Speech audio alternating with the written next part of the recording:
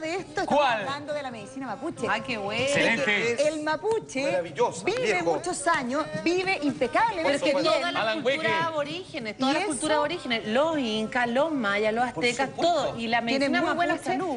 de verdad, precio barato y de buena calidad. Bueno, lo que yo estaba tratando de decir es que en el fondo lo que estamos at- tratando de eh, contarte a través de la siguiente nota es que la medicina mapuche se instaló con locales y también con una forma de acercar la salud y, eh, tradicional a Eh, nuestro... Esto me encanta porque como tú bien dices, ah, de hace de un buen tiempo a esta parte, hace algunos años, pero no tanto, fíjate que se logró institucionalizar y sintetizar la medicina mapuche, que está hecho en base a hierba, como decía la Jenny, que maravilloso.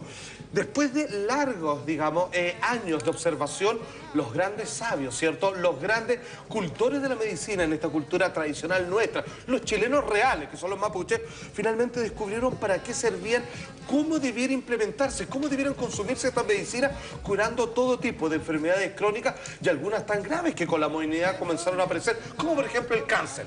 Bueno, pues bien, fíjate que estas farmacias existen hoy día. Ponga mucha atención, es el momento de tomar lápiz y papel, porque le vamos a entregar la forma en que esta medicina se vende y obviamente cómo usted puede sanarse de todos estos males. Vamos la nota, por favor, que lo explica casi todo y vamos viendo uno por uno. Qué buena.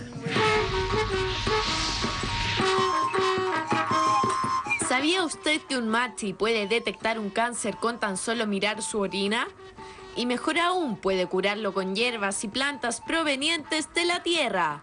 Los mapuches hacen uso de esta natural medicina desde tiempos ancestrales y hoy llegaron a las ciudades del país para curar todo tipo de males.